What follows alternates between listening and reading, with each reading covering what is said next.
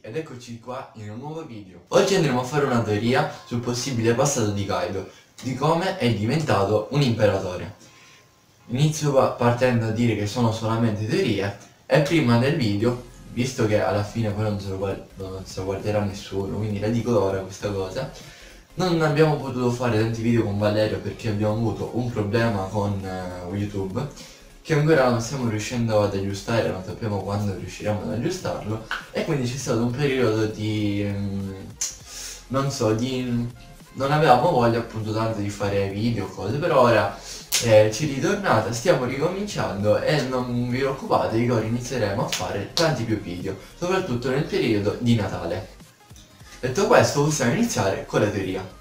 Come già detto oggi andremo a parlare di Kaido. Cosa sappiamo di Kaido principalmente? Sappiamo poco, ma sappiamo che comunque cerca di morire e non ci riesce e questo ci fa presumere che sia appunto abbia una pelle durissima comunque sia immortale. E che anche magari non ha un frutto perché se avesse un frutto e volesse morire si sarebbe buttato in acqua.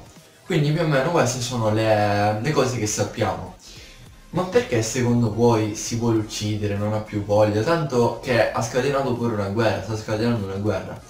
Secondo me, prima di diventare un imperatore, secondo me non era né un gigante, né indistruttibile, né un pirata e aveva pure una famiglia. E ora vi spiego tutto.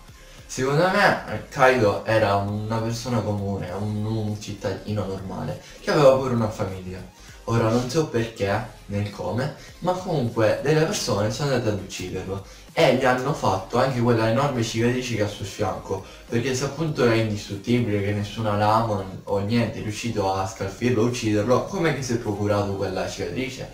E quindi secondo me questo è uno degli indizi per andare appunto a scoprire come ucciderlo o comunque come è diventato così forte. E appunto queste persone che hanno ucciso la sua famiglia le hanno inflitto questa cicatrice prima ancora che diventasse appunto così immortale. Quindi pieno d'odio, in un certo senso scappa, comunque cerca un modo per vendicarsi. E incontra Vegapunk secondo me ragazzi, perché come abbiamo visto Cesar, che era appunto diciamo un allievo di Vegapunk, ci ha fatto vedere che è possibile trasformare le persone in giganti. Infatti come possiamo vedere anche dalla... Uh, dal laboratorio che c'è a Pancazart c'è una scritta, c'è un'immagine dove c'è attenzione e poi c'è una faccia di una persona con le corna che assomiglia molto a Kaido ma comunque anche a ODR.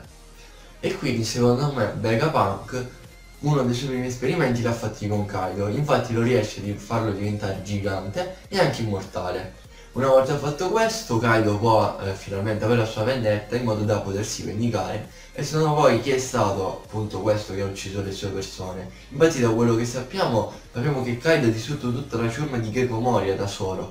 Ma perché questo? Secondo me era appunto per vendicarsi, visto che non so perché Gecko Moria secondo me ha voluto uccidere la sua famiglia. Quindi una volta ucciso la, la, la ciurma, comunque riuscito a vendicarsi di Gecko Moria, non sapendo più che cosa fare, inizia a diventare un pirata, diventa un pirata e poi sappiamo tutti come appunto eh, cosa è successo, è stato catturato dalla marina, ma nessuno poi è riuscito a ucciderlo.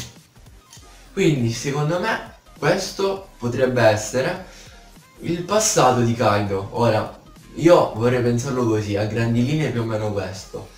Eh, non so voi ragazzi, voi che cosa ne pensate? Fatemi sapere se la, la teoria vi è piaciuta e anche cosa pensate voi su come Kaido è perché è immortale, perché è così gigante, ma anche del suo passato.